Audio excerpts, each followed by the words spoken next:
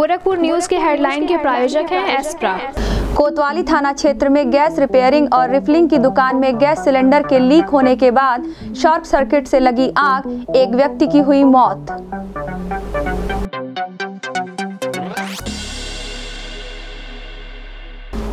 ज़िले के प्रभारी मंत्री रमापति शास्त्री की अध्यक्षता में संपन्न हुई जनपद के विकास व निर्माण कार्यों सहित कानून व्यवस्था की समीक्षा बैठक, शासन की योजनाओं को लाभार्थियों तक पहुँचाने के दिए निर्देश, कहा, जनवरी तक अधूरे कार्यों को करें पूरा।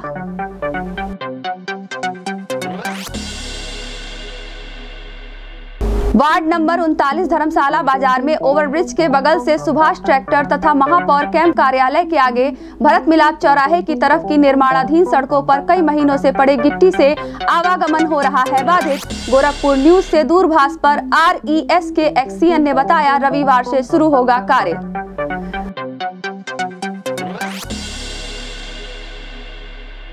रामगढ़ ताल के समीप निर्माणाधीन अत्याधुनिक प्रेक्षागृह का सदर सांसद रवि किशन ने किया निरीक्षण। कहा, स्थानीय कलाकारों को मंच उपलब्ध कराने में सहायक होगा प्रेक्षागृह। 10 जनवरी के बाद मुख्यमंत्री योगी आदित्यनाथ कर सकते हैं लोकार्पण।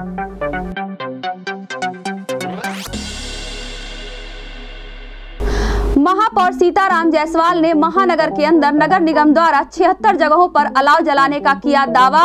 गोरखपुर न्यूज़ टीवी चैनल ने किया रियलिटी चेक। कई प्रमुख जगहों पर नहीं दिखा अलाव की व्यवस्था। रैन बसेरे के सामने भी ठंडा पड़ा रहा अलाव।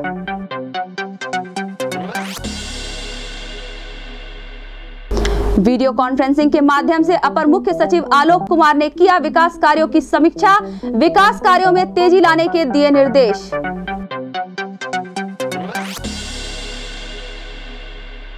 डीआईजी रेंज और एसएसपी ने आगामी खिचड़ी मेले को सुचारू रूप से संपन्न कराने के लिए कानून व्यवस्था को चुस्त दुरुस्त बनाए रखने के लिए राजपत्रित अधिकारियों के साथ की बैठक, दिए आवश्यक दिशा निर्देश।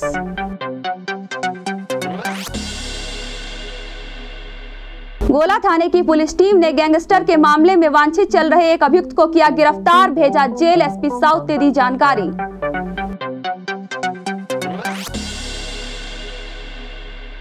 ठंड से बचाव के लिए सदर सांसद रवि किशन ने किया कूड़ा घाट क्षेत्र के नागरिकों में कंबल का वितरण। कहा, अच्छे कार्यों के लिए आम नागरिकों को आना होगा, आगे निभाना होगा मानवता का धर्म। गोरखपुर में बृहस्पतिवार को मिले 34 नए कोरोना संक्रमित मरीज़। एक की हुई मौत ज़िले में संक्रमित मरीजों की संख्या हुई 20,814 अब तक तीन सौ अड़तीस कोरोना संक्रमित मरीज़ गवा चुके हैं। अपनी जान दो सौ बानबे हुए एक्टिव मरीज़ सीएमओ डॉक्टर श्रीकांत तिवारी ने की पुष्टि।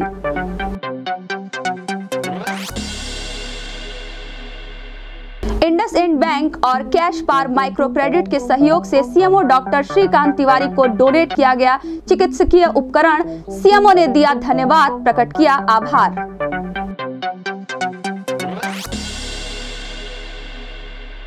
एडीएम सिटी की अध्यक्षता में संपन्न हुई व्यापारी बंधुओं की मासिक समीक्षा बैठक। व्यापारियों की विभिन्न समस्याओं पर हुई चर्चा, निस्तारण के लिए संबंधित अधिकारियों को दिए गए निर्देश।